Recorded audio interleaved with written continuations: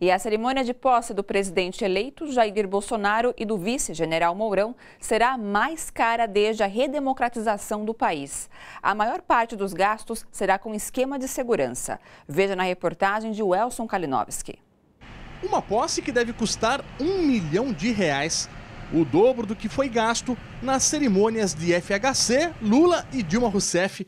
A metade desse valor será para cobrir o esquema de segurança que já está funcionando, faltando ainda quatro dias para o evento. A escolta de motoqueiros faz o ensaio. Grades e muros de metal estão sendo instalados. Este bem em frente à catedral, de onde os carros com o presidente, o vice-presidente e suas esposas partirão às três da tarde de 1 de janeiro. No Congresso Nacional, eles sobem a rampa e seguem para uma série de cumprimentos até o Salão Verde da Câmara, onde, no plenário, Bolsonaro fará o juramento à Constituição e o primeiro discurso diante dos presidentes do Congresso e do Supremo e de demais lideranças e autoridades.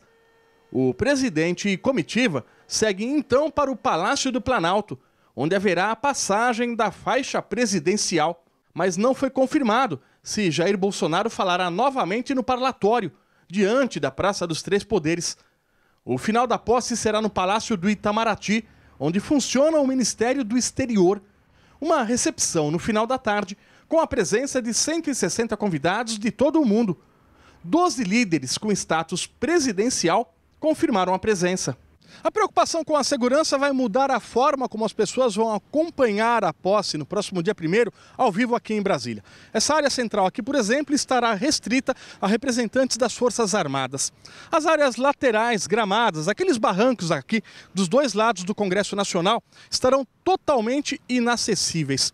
Nas posses de FHC, Lula e Dilma Rousseff, elas serviram como espécies de arquibancadas naturais receberam milhares de pessoas. Já na posse de Jair Bolsonaro, o acesso máximo permitido será nas avenidas, nas partes asfaltadas, ainda assim sob um forte esquema de controle. Serão 12 mil homens na esplanada, das Forças Armadas e de Segurança Pública. No topo de cada ministério haverá um atirador de elite. Agentes à paisana estarão no meio da população e o esquema será também pelo ar, com 20 aeronaves da Força Aérea. O cerimonial calcula que cerca de 200 mil pessoas devem acompanhar a posse. Gente, bora fortalecer a TVT? É só clicar em inscrever-se e depois clicar no sininho. Pronto! Assim que pintar notícia nova, você fica sabendo no ato.